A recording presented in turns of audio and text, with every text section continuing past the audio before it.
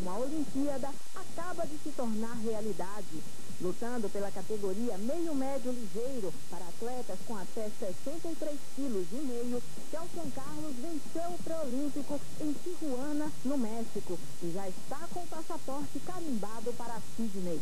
Em toda a história, o Brasil só conseguiu conquistar uma medalha olímpica em 1968 de bronze com o paulista Sergílio de Oliveira. E a Bahia mandou apenas dois atletas na Olimpíada que chegaram até as quartas de final.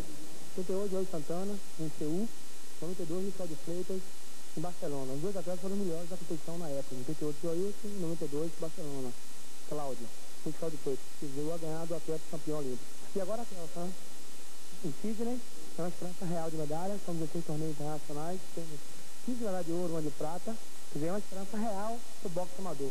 Para não fazer feio em Sydney, o boxe da Bahia moderniza seu treinamento com a inclusão do aeroboxe, que trabalha a coordenação motora e respiração do atleta. Mais preparação para Kelson enfrentar os cubanos, favoritos na sua categoria, e fazer do sonho de conquistar o pódio olímpico uma realidade. Respeitei meu adversário, todos atletas, mas vou buscar uma medalha com certeza no nosso Brasil.